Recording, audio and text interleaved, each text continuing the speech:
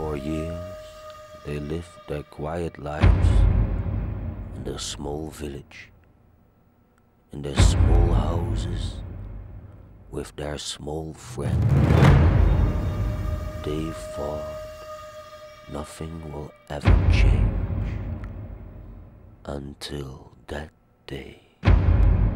Everything changed they ever could dream of. This is fundamental.